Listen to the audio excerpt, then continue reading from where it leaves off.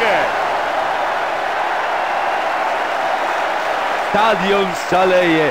To jest niesamowite zawsze uczucie. Zrobił to bez najmniejszego trudu, jakby od niechcenia.